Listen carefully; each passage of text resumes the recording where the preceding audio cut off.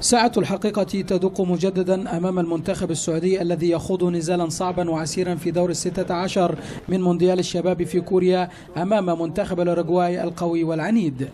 صعوبة المباراة تكمن في معرفة كل فريق للآخر بشكل جيد. فقبل انطلاق المونديال التقى المنتخب السعودي نظيره الأوروغواياني وانتهت المواجهة وديا بينهما بفوز الأخير بهدفين.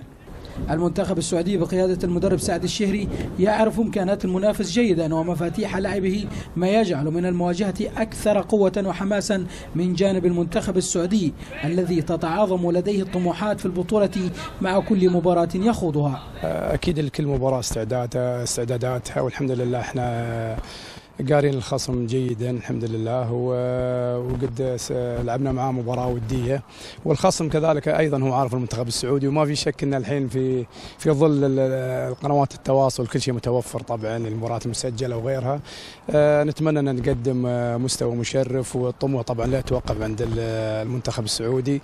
ونتمنى إن شاء الله نتجاوز هذا الدور. التحضير للقاء جاء عبر مران رئيسيين ووحيد جرى على الملعب الفرعي لملعب المباراة بمدينة الكورية. صفوف مكتملة وعناصر متحفزة بالنسبة للمنتخب السعودي الذي يأمل في تخطي هذه العقبة والوصول لإنجاز غير مسبوق له في مونديال الشباب.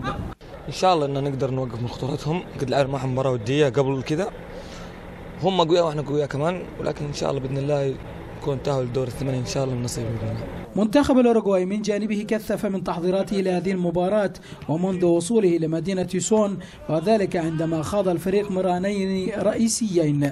وسعى المدرب فابيان كوتو لإبراز قوة المنتخب السعودي عبر محاضرات مطولة مع لاعبيه قبل كل مران مع التركيز على دراسة مفاتيح اللعب لدى المنافس وتطور الأداء الذي طرأ على المنتخب السعودي في هذه البطولة.